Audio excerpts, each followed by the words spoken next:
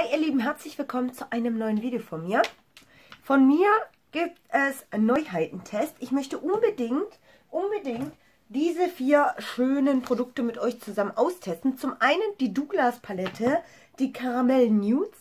Die ist ähm, mega geil. Also wenn man sie so anschaut, erinnert sie mich auf jeden Fall an Anastasia Beverly Hills.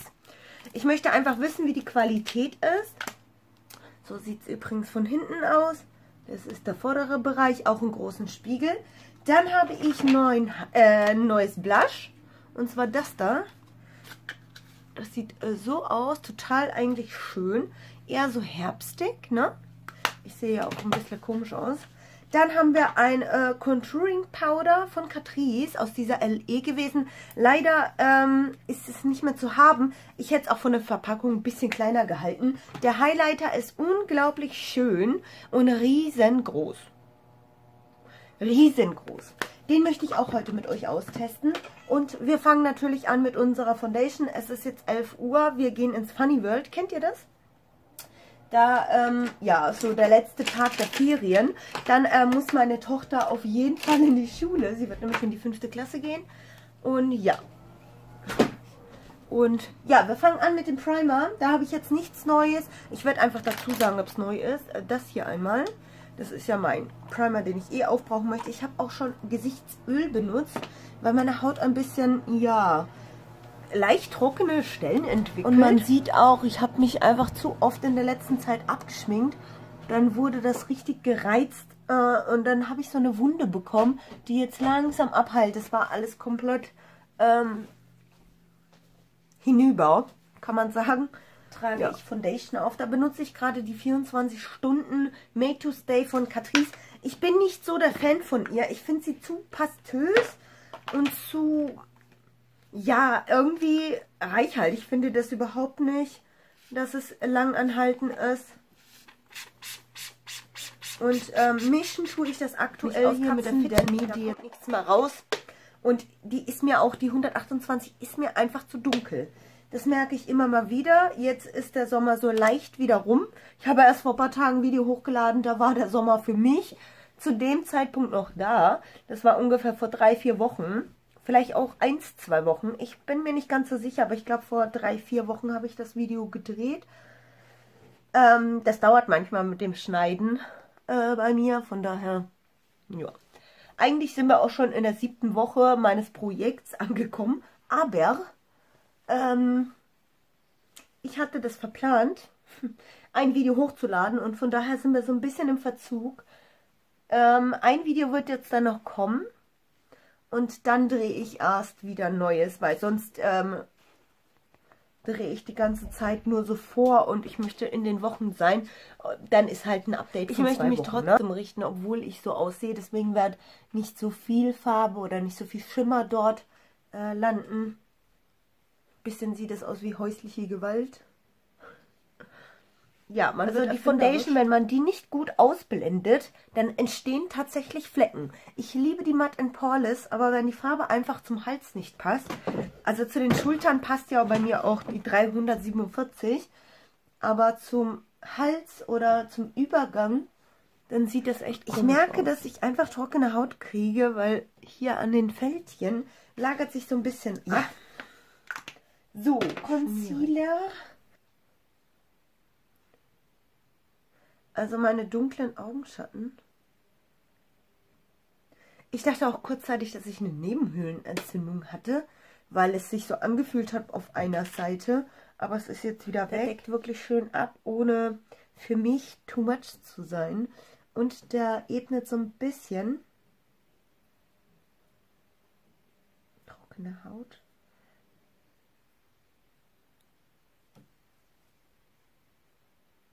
Bisschen abkratzen. Ja, man sieht auch eigentlich, äh, wir sind eine Leinwand. In der Kamera, das, was ich dann sehe, ist ganz anders da, wie, ähm, wie ich mich in real sehe, weil das irgendwie so ein bisschen dunkel ist. Keine Ahnung. Hm. Wir sind äh, gespannt. Dann pudern wir das Ganze natürlich ab. Da benutze ich einfach mein Astor Puder. Das, das habe ich neu gepresst. Das ist sehr locker ähm, gepresst, sag ich mal. Da mattiere ich einfach meine, das ist so ultra matt, meine T-Zone mit ab, also Nasenbereich, über meinen Augenbrauen drüber, da schwitze ich nämlich auch meistens komplett durch. Unter der Nase, das fixiert wirklich, wirklich gut. So, dann ähm, nehme ich mein anderes Puder hier von, von meinem Projekt. Da ist immer noch was drin. Ich benutze das fast jeden Tag. Jetzt gerade im Winter kann ich das jeden Tag benutzen. Und trotzdem braucht sich das so lahmarschig auf. Und jetzt, wo ich auch zu Hause bin, merke ich eigentlich, äh, dass man eigentlich Projekte machen dürfte nur, wenn man unterwegs ist. Weil man da ja sich nur auf diese Sachen konzentriert. Ja. Also wird nicht so viel Fortschritt entstehen. Schätze ich mal. Ich gucke gerade mal. Ich mache gerade meinen Pinsel sauber. Damit ziehe ich mir jetzt die Kontur und zwar benutze ich das von Catrice hier. Das hat mich sehr interessiert, wobei das nicht... Ich, äh, das hat so ein bisschen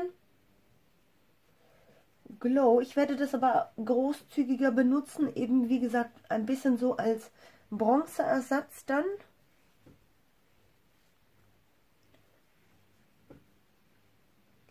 Dafür finde ich es eigentlich immer ganz gut, wenn die Sachen nicht ganz so matt sind. Da hat man nämlich nicht 10.000 matte Schichten drauf.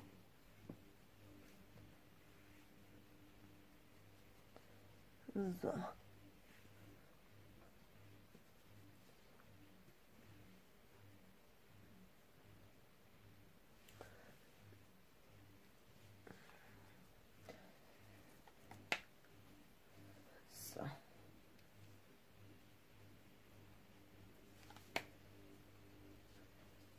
Ziemlich hasch, die Kontur.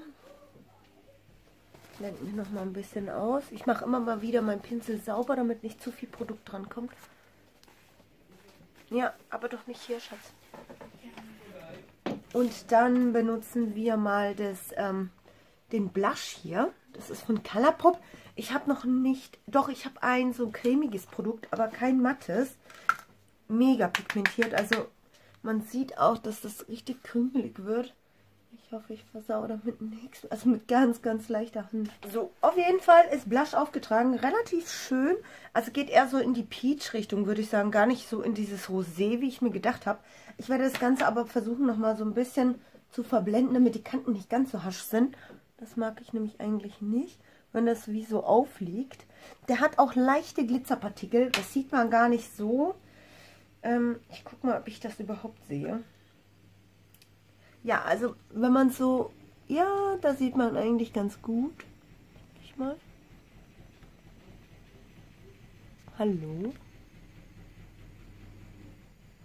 Und wenn ich so hin und her schwenke, ganz leichte Glitzerpartikel. Ist ertragbar noch. Sage ich mal, wenn man gut abklopft, dann äh, geht das weg. Dann mache ich meine Augenbrauen mal. Immer noch mit dem Catrice, das Ding geht niemals so, leer, Auf jeden. Fall können wir auch mit dem Highlighter beginnen. Ich würde aber die erste Puderschicht mal setten. Und zwar, da schmeckt das eklig, mit Catrice. Ähm, das ist auch so eine LE gewesen. Der Deckel ist super, mega schön. Benutze ich auch fast jeden Tag, aber ja. Und dann gehen wir mit dem äh, Glow-Produkt mal dran. Ich benutze selten Neuheiten, sage ich mal, weil ich ja meine Projekte am Laufen habe. Aber es reizt mich doch einfach die ganze. Guckt mal, wie das glowt, ne? Da steht auch Glowing. Oder? Steht da Glowing? Glow. Das sieht so geil aus. Also es sieht wirklich geil aus und wirklich ein Duo zu MAC. Der, die haben so, auch da reinige ich mal meinen Pinsel. Ich habe nämlich gerade, eigentlich wollte ich sie gestern waschen und kam einfach nicht dazu. Deswegen habe ich nicht mehr so viele saubere Pinsel zur Verfügung. Hm, irgendwas ist auch in meinem Auge. Naja, wir fangen an. Wo habe ich das Ding hin? So sieht es aus. Echt von der Verpackung cool. Ich verstehe nur nicht, warum das so riesengroß ist. Das kann man doch im Leben nicht aufbrauchen. Sehr gut pigmentiert. Also man bekommt richtig viel Pigment drauf und Halleluja. Äh, vergleichbar, ich möchte unbedingt mal gucken, ob das vergleichbar ist mit dem Amrezy Highlighter von äh, Anastasia Beverly Hills, den ich ja sehr liebe. Den liebe ich wirklich. Ich möchte so ein bisschen gucken, Vielleicht habe ich da was ähnliches. Ich meine, es ist nicht mehr ganz so leicht, an diesen ranzukommen, aber sollte er so beliebt sein, dass sein Standardsortiment kommt, ja, was ich auch mir gut vorstellen kann, dass viele diesen Glow ähm, gerne mögen, aber auch einige sagen, nee, das ist mir einfach zu stark. Es ist auch sehr, sehr stark, aber ich zum Beispiel bevorzuge so einen glowigen Look. Ganz, ganz leicht ein Lippenherz hier. Sonst kann das auch schnell nach Bart aussehen. Das, das mag ich dann nicht so. Bisschen so Nasenrücken. Zum Beispiel im Sommer hätte ich den halt, den hätte ich halt in äh, Frühling reingesteckt, diesen Highlighter. 14,55 Gramm. Halleluja, dann bin ich ja am nächsten Dienstag noch dabei, das Ding zu benutzen. Dann gehe ich nochmal mit meinem Puderpinsel drüber, um einfach so ähm, das zu verschmelzen. Dann nochmal Fixierungszeug. Bäh. Und in der Zeit, wo es einfach antrocknet, benutze ich meinen Primer. Heute benutze ich, benutze ich mal wieder meine Basis. Man sieht fast schon zur Hälfte aufgebraucht. Seht ihr das? Ich benutze den wirklich täglich. Das ist mein Sommerding. Wenn das aus dem Sortiment geht, dann kann ich mir auch mehr helfen. Also diesen Dewy-Look mag ich eigentlich sehr gerne, wenn er dann antrocknet mag ich das, wenn es wirklich so schön, ähm, ja, wenn es einfach schön da drauf ist. Wir benutzen auch gleich den Kajal noch. Das habe ich nicht vergessen.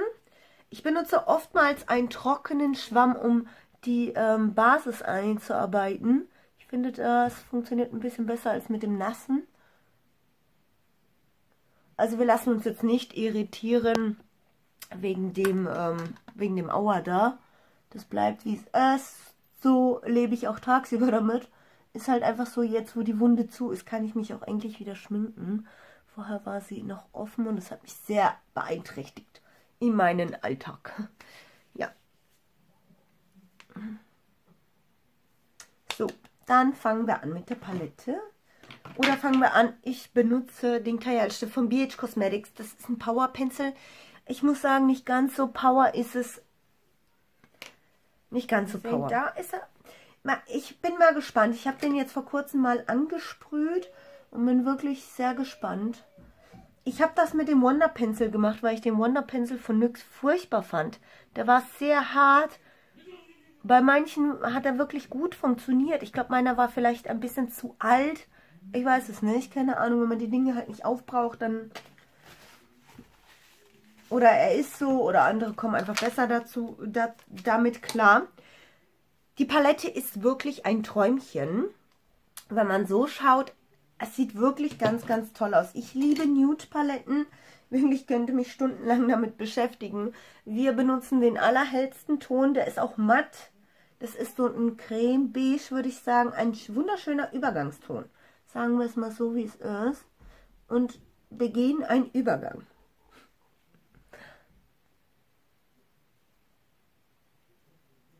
So. Also ich muss das noch ein bisschen lernen, nicht im, äh, aus dem Bilde zu verschwinden. Äh, sie ist relativ pudrig. Seht ihr das? Aber es geht noch. Es gibt Schlimmeres, sag ich mal, im Leben. So, dann nehme ich einen etwas kleineren, der ist ein bisschen spitzer gebunden und äh, nehme hier diesen Karamellton, den hier. An, an welche Palette erinnert mich das? Ich weiß es nicht. Keine Ahnung, ich kann es euch gerade nicht sagen.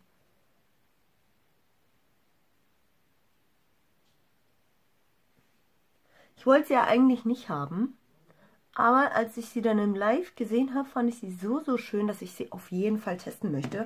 Und ob ich wirklich ähm, sie dann aussortiere oder nicht, das kriegt ihr ja eh mit. Ich mache ja meine Dekletterreihen immer mal wieder. Ich sammle halt was, was ich aussortiere. Letztes Mal habe ich auch vier Nagellacke oder fünf aussortiert. Äh, die sammle ich dann in so einem Körbchen und stelle euch die dann vor. So.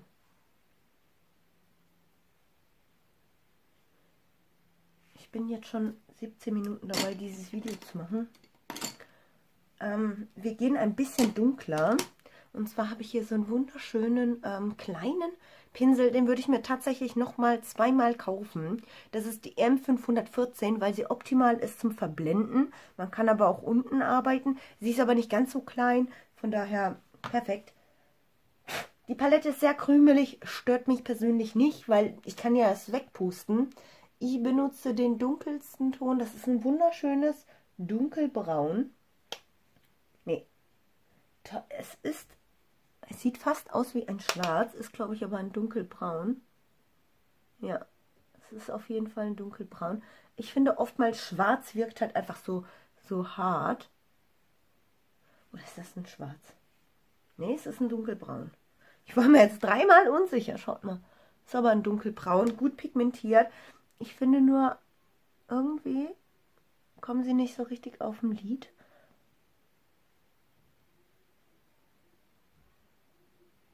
Hier sind wenigstens die trockenen Stellen wieder futsch, dass ich, also mit dem Rasierer das zu machen, ist immer schwierig.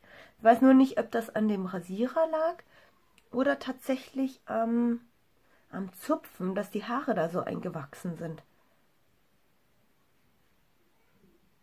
Ein bisschen fliegt hier rum, aber super, super wenig.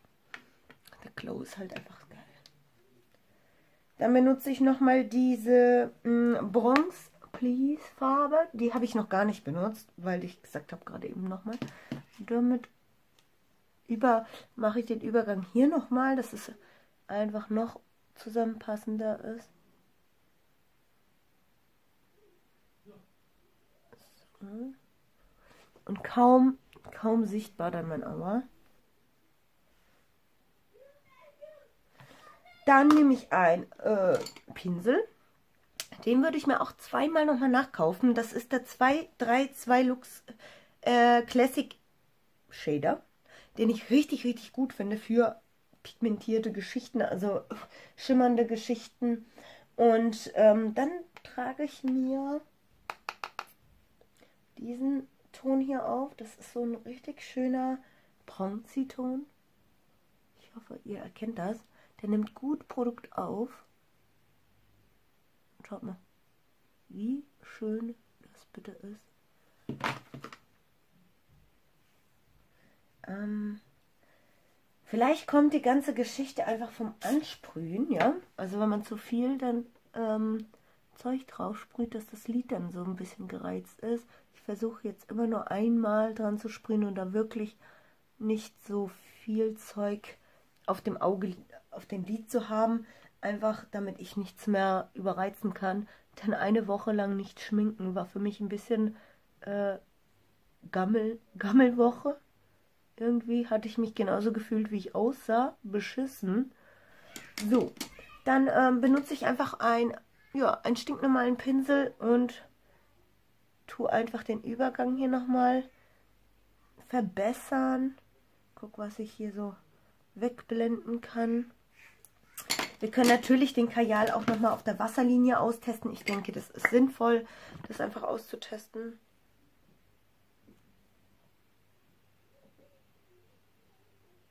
Oh, ich bin es einfach nicht gewohnt.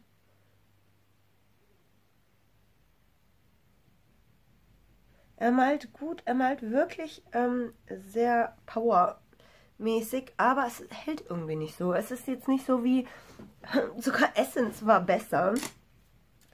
Ja, dann benutze ich das hier. Das ist mein äh, Liquid Liner. Achso, ich habe vergessen, mir noch ein Highlight in den Innenwinkel zu setzen. Und zwar gibt es eine helle, schimmernde Farbe. Und zwar Golden Light. Golden Light? Ja. Das ist diese. Das ist auch die einzige, die so ein bisschen heller ist. Und die setze ich mir einfach in den Innenwinkel. Sie ist mir zu goldig eigentlich. Also zu dunkel.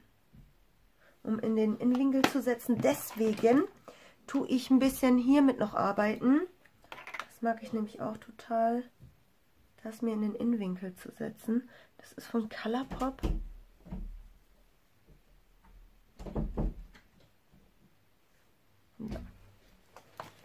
Ich ziehe mir jetzt noch einen Lidstrich und dann hole ich euch nochmal dazu und mache meine Wimpern und dann sind wir fertig. Lippi noch und so, eine Schicht mit der Deluxe LR Mascara.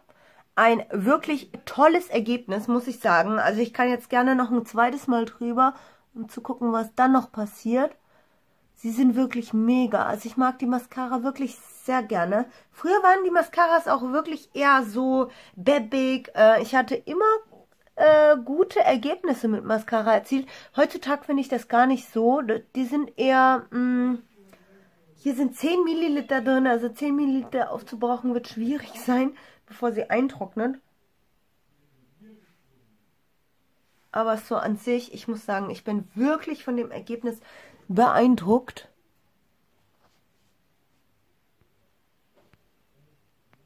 Also ich hoffe, ihr seht das. Also es hat sich echt gelohnt, das auszutesten. Vielen, vielen Dank nochmal, Jennifer. Tolles Teilchen, mag ich super gerne. Ähm, ihr seht das ja anhand meiner äh, Ergebnisse. So, kommen wir zu den Lippen. Ich habe da so eine Kombi, die ich gerne austesten möchte. Und zwar äh, den NYX Ombre Lip Duo. So, Lippen Duo. Ich habe jetzt mal... Nikolai, bringst du mir den Deckel bitte mit? Ja, den habe ich gerade verloren äh, Lippenduo in Ombre Lip Duo. Ja, genau. Dankeschön. Und den Deckel, danke. Ähm, in der Farbe 04. Ähm, ich benutze auch die dickere Seite. Den würde ich gerne aufbrauchen. Ich mag den wirklich gerne.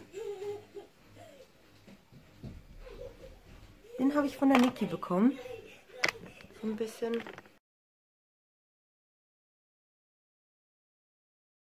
irgendwie ist das wie eine matte Cream mit äh, ein bisschen Gloss. Keine Ahnung, unbeschreiblich. Echt eigentlich ein cooles Teil. Benutze ich eigentlich von der Farbe her wirklich selten, weil es eher so in die braune Richtung geht. Aber wenn ich einen Lip Liner drunter trage oder einen Lippenstift, der so ein bisschen äh, bräunlich ist oder rosé eher so in die Rosé-Richtung geht, aber mit einem bräunlichen Touch, dann mag ich ihn unheimlich gerne. Ich hoffe, ihr seid genauso begeistert von der Palette und von dem Gesamtergebnis wie ich. Ich feiere alle Produkte, ich kann mich nicht beklagen, dass etwas hässlich aussieht oder unschön oder irgendwie sowas. Die Palette werde ich auf jeden Fall auf Herz und Nieren testen. Vielleicht mache ich auch eine... Meine Schminkbox fängt definitiv demnächst an. Ich möchte vieles. Ich werde mir immer nur eine Palette mit reinnehmen, die ich dann eine Woche lang teste und dann wieder eine neue Palette. Oder halt eben, wenn es nur schimmernde ist, ist ja klar, dass ich irgendwas Nudiges brauche. Und ich muss sagen, ich bin... Ja, somit wünsche ich euch einen wunderschönen Tag. Wir sehen uns das nächste Mal wieder. Und ja, habt eine schöne Zeit. Ciao!